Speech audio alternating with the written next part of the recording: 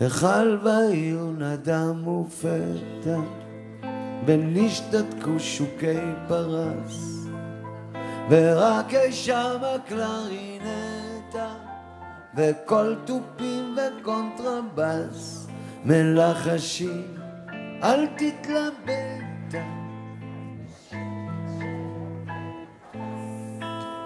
אמנם רדפנו רבנים, אך לבסוף הראש הרכנו, אם כתר הוא נושא עוד לי, אין שום הבדל, בסוף אישנו. והי לי לו, והי לו לי, והי לי לנו, לכולנו.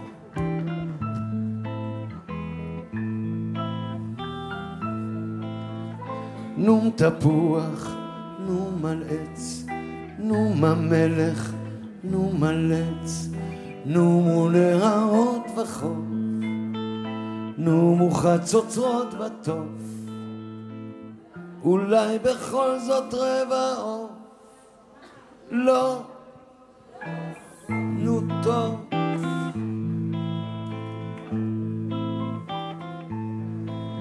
כל רוגז וחמות וטורח, ותאוות וחירוק שם, עברו חלפו כעוברי אורח שיעברו, אני ישן.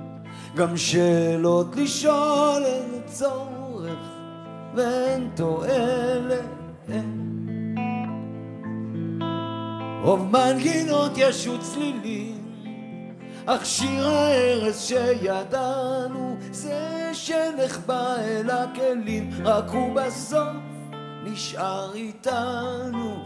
הוא נשאר ושר, הניחו לי, הניחו לנו, לכולנו. למה נשאר את השיר הזה? זה שיר של אלתרמן וסשה ארגוב. כי כשהייתי ילד בן 12, ההורים שלי שלחו אותי פעם ראשונה בחיים לראות הצגה. וזה היה בתיאטרון הקאמרי בתל אביב, הישן. זו הייתה הצגה שנקרא אסתר המלכה. ההצגה רצה אולי עשר פעמים, זה היה פלופ נוראי, והשיר הזה הוא מתוך ההצגה הזאת. היום נדמה לי שרים את זה בשלמה המלך ושלמאי סנדר, אבל במקור זה לא היה שם. ואני אז התאהבתי בבמה. ישבתי שם ילד, אני לא יודע למה הם השאירו אותי לבד.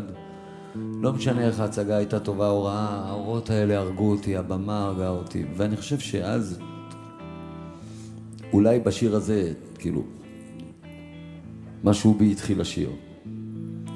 המלך לא היה יכול לישון, אחשוורוש. ושתי, המן, מרדכי ואסתר, כולם היו על הראש שלו, וגם כל האיראן הזאת עם כל הפצצות אטום האלה בראש.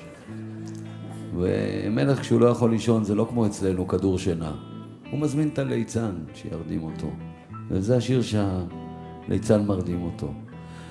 בבית האחרון, כבר חמש לפנות בוקר, הליצן אה, מסתכל דרך החלון, הוא מתאר למלך, שזה כמובן סינגולדה, ואני הליצן.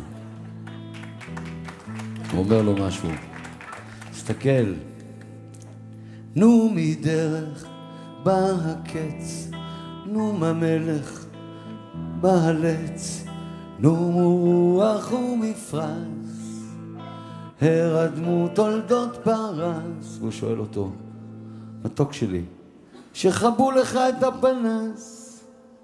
כן? כן, כן.